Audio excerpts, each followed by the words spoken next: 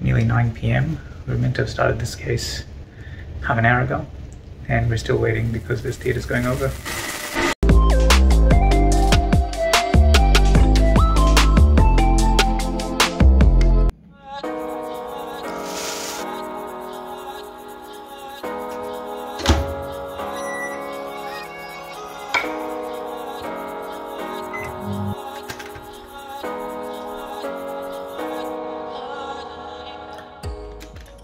Alrighty. Not every day that I get a drop off of food from my parents, but today is the 12th of April and it's at 10:30 at night. I am on call, but this is the beginning of Ramadan. That's why my mum's dropped off a feast so that I have some food to eat uh, to break fast tomorrow. Uh, it's a bit late to have dinner. Kind of already had dinner. Never really been very good at waking up early and scoffing down a lot of food, so this will be it. I'm to wake up and have a bit of coffee, a bit of water, and start fasting.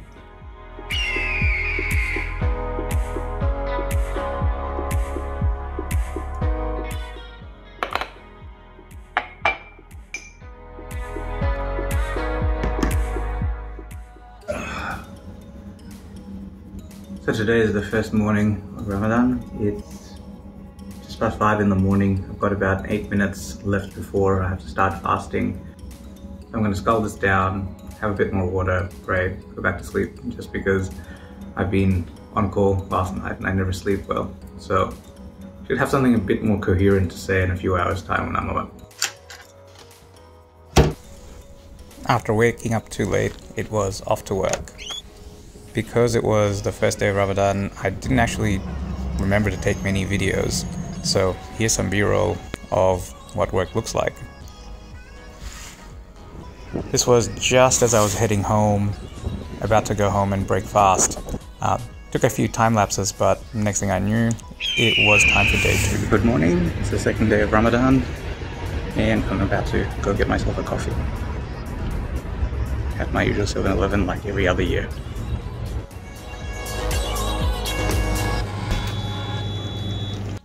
Howdy and welcome back. It's day two of Ramadan already.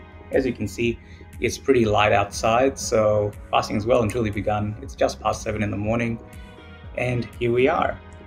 Day one was a bit rough for me because I was on call the night before and a bit tired after I got home, so I ended up sleeping a significant portion of it after breaking fast. But uh, now well rested, and hopefully it's a better start. A quick summary of what this project is about. It's something that's been in the back of my head for uh, quite a while now, and uh, thankfully I got started on it a couple of years ago.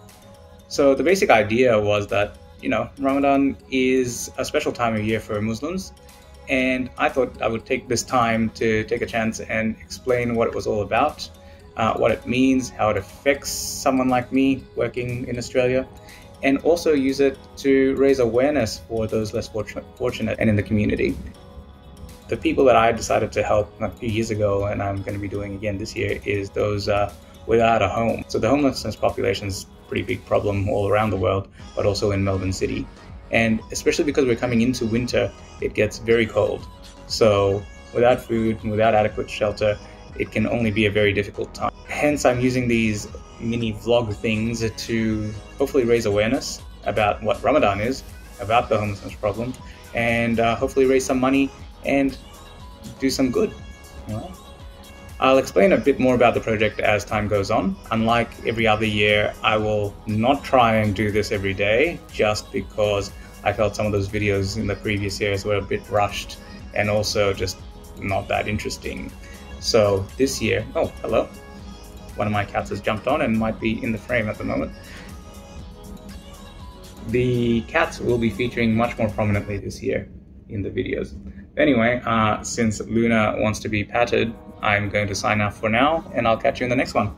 It's day three of Ramadan and I had the morning off, which was nice. So after getting up for suhoor and praying, I had a bit of a nap and now I am hanging out with the kitty cats. There's one of them, just getting his food. And the other one is right there. Just had the morning off, now it's time to go to work. Hooray!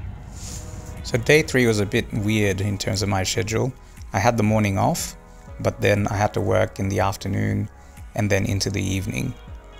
So the afternoon finished relatively early. Not really sure what to do at the moment. Normally, I come home well and truly after iftar time and I'm dying to break fast, but this is one of those times where everything's finished early. So I'm gonna hang with the cats and go take some photos.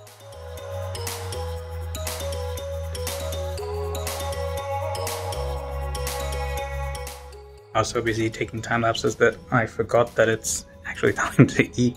It's time for iftar. Where's me date set? There we go. Alright, happy iftar. I was literally eating uh, iftar when I got called in, so I had to uh, quickly finish praying and get out there. I actually had to go to two different hospitals, so finished with one and then headed off to the next one. So, it's nearly 9 pm. We're meant to have started this case half an hour ago, and we're still waiting because this theater's going over.